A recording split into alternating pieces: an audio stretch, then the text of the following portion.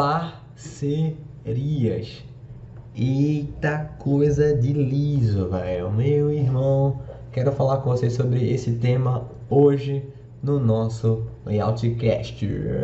Música.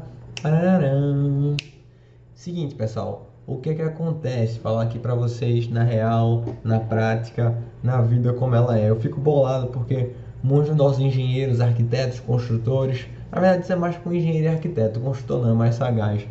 Eles tudo querem fazer parceria, né? E primeira coisa, o cara já está lá na faculdade, o cara quer começar a trabalhar, o cara quer fazer uma consultora, o cara quer, enfim, fazer algum escritório. Ele nunca vai sozinho. Ele sempre quer alguém do lado, porque se ele se arrombar, ele se arromba com outra pessoa. Acho que talvez isso, é, sei lá, encha o ego da pessoa, né? Não tem nenhum problema você ter parceria, você ter sócios. O grande detalhe é se esses sócios complementam aquilo que você faz. Vinícius é meu sócio ele trabalha na parte técnica do mercado financiado, eu trabalho na parte do marketing comercial. A gente se complementa, a gente se junta. Eu não entro na área dele, nem ele entra na minha. A gente se junta. Esse é o ponto-chave. Isso traz uma parceria de sucesso. Mas se eu vou me juntar com outro cara que também é engenheiro, eu faço projeto, ele faz projeto, qual é a parceria? Nenhum. Você está dividindo o pão, você não está multiplicando o pão. E aí, outro ponto que eu queria trazer para vocês é em relação a, por exemplo, corretor, em relação a condomínio, em relação à captação de clientes, tá? Que é o nosso foco aqui no Layoutcast. Eu acho interessante como grande parte dos construtores, dos engenheiros, eles fazem assim, ah, eu vou fazer uma parceria com o condomínio, com a imobiliária, com a loteadora. Eu, em vez de eu pagar 500 reais, mil reais para fazer um disparo de e-mail para aquela base, eu vou dar 1%, 2% das obras que eu fechar. Sou muito esperto porque eu não estou gastando nada.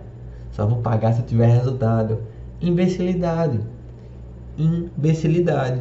Porque no momento que você dá 2% de uma obra sua de 500 mil, é 10 mil reais.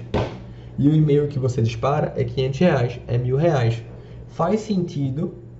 Ah, mas Diego, eu não sei se vai dar certo. Beleza.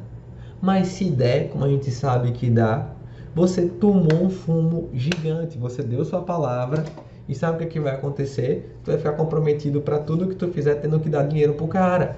Se arrombou. Então, velho, para com essa parada de ah não, eu vou dar a parceria, eu vou dar se der resultado, eu vou dar se fizer aquilo, eu vou dar se fizer aquilo, sempre criando uma condicional. Velho, joga logo o dinheiro na mesa, pô.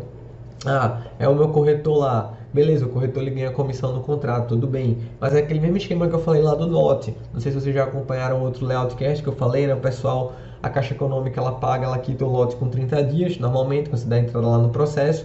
E o pessoal não quer nem fazer o faz-me rir do corretor, não quer nem dar a comissão pro cara. O cara quer que o corretor espere dois, três meses, tu fazer projeto, tu fazer perfil, tu fazer memorial, definir com o cliente, a caixa pagar pro cara receber. Joga dinheiro na mesa, pô, paga a comissão do cara para ele ser feliz, para ele comer o churrasco dele de gato, pô. Então, o grande detalhe aqui é, né, eu quero trazer para vocês, ao longo da sua vida como construtor, tá? Ou projetista, ou quer que seja, vão haver situações assim, onde você pode bancar um anúncio e você vai tirar dinheiro do seu bolso e obviamente é anúncio, é investimento. Você pode ganhar muito dinheiro ou você pode perder e tomar fumo. E aí nessas situações as pessoas vão se deparar com a seguinte situação: ah, não, vamos fazer uma parceria, porque aí eu não gasto, eu não, eu, eu não vou bancar o outdoor sozinho, eu não vou, vou, eu não vou botar o anúncio sozinho, eu não vou patrocinar o time sozinho, eu não vou fazer o disparo de e-mail sozinho, eu não pago nada, porque eu sou esperto, eu sou, eu sou desenrolado, né? E aí, se der resultado, eu te dou uma comissão. Imbecilidade. Imbecilidade. Tá? Então, o que eu quero que vocês fiquem aqui em mente é, velho, é bom ter sócio? É. É bom ter sócio se eles te complementam, tá? Se você é o cara que capta cliente e ele é o cara que faz o projeto. E se você é o cara que capta cliente faz o projeto e o outro é o que faz a obra. Se for para fazer a mesma coisa, não faça. Contrate o cara para ser seu funcionário. Para que danado é que eu vou ter um sócio que faz a mesma coisa que eu? Imbecilidade. Eu quero alguém que faça projeto para mim, eu contrato alguém que faça projeto para mim. Eu, na verdade, não entendo como é que as pessoas tudo querem isso, tá? Vou fazer parceria, vou dar sociedade no meu negócio. Meu irmão, Eu tô aqui, tô com a minha construtora aqui, beleza, Carielo Construtora, a construtora aqui que eu tô tocando pro meu pai. Eu quero alguém para fazer projeto, eu vou querer que o cara seja meu sócio para fazer projeto, eu pago o projeto do cara, 2, 3, 5 mil. Beleza, eu vou botar o cara para ser sócio meu para ganhar metade da casa. Que loucura é essa? Ou, ah não, eu quero um construtor, quero que alguém construa para mim. Eu vou e contrato um construtor. Acabou-se, pô, eu vou botar o cara para ser sócio meu, é. E faz sentido uma bosta dessa? Não faz, pô. Então parem com isso, pô. Ah, mas o cara é meu amigo, ah, eu conheço outra pessoa, mas eu não tenho dinheiro. Velho, dá-se um jeito. Dá-se um jeito. Você chega e contrata as pessoas. Eu, por exemplo, tá? Montei essa construtora pro meu pai. Eu contratei a, a galera para fazer o projeto que meu pai ia fazer, então paguei, contratei o cara para construir a casa, ele vai lá fiscalizar, e em seguida vai vender. Beleza, é ele. No meu caso, nas minhas obras, o que eu estou empreendendo aqui, eu tenho um cara muito bom, que é o Danilo, que eu quero que ele fique aqui na minha empresa, que eu não quero que ele saia, que eu quero valorizar ele, que eu quero que ele ganhe cada vez mais. E aí eu disse para ele, velho, eu compro o lote, eu financio a construção, tu toma conta do resto, projeto e obra, beleza? Beleza, 30% é teu do lucro. Pronto, acabou-se. Acabou-se, velho. O cara vai tomar conta de tudo. Eu entro investindo, dando a infraestrutura e vendendo aquela, aquela propriedade depois, e ele vai tomar conta da parte técnica. Eu dei um percentual bom pra ele. Acabou-se. Eu vou ter mais 2, 3, 4, 5, 10 sócios. Você é maluco, pô. E eu fiz isso porque eu quero fazer, porque eu quero valorizar ele, porque eu não preciso de dinheiro eu já tenho a layout, eu já tenho a minha casa financiada.com e eu quero que as pessoas que estão boas ao meu lado fiquem perto de mim. Beleza, eu abro mão para poder ajudar, mas se fosse meu business principal, se fosse assim que eu pago minhas contas, se fosse assim que, que, que eu faço negócio, eu nunca que faria isso, eu sou doido, velho. Eu quero construir uma casa.